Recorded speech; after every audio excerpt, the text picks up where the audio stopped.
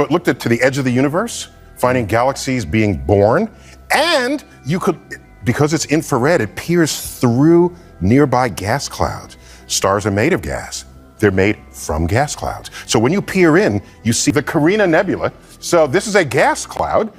Deep within is forming brand new stars. It's a stellar nursery. And it's forming not only stars, but planets in orbit around them, exoplanets. And so we, we now have more than 5,000 exoplanets in the catalog. And this telescope is going to be, among its many abilities, it'll be able to measure the chemistry of the atmosphere of exoplanets that pass in front of their host star. How will this change our model of exoplanets? No, so here, here's the way to think about it, okay? This is an extra detail deeper than what you had first thought. It doesn't change your view, it adds to it.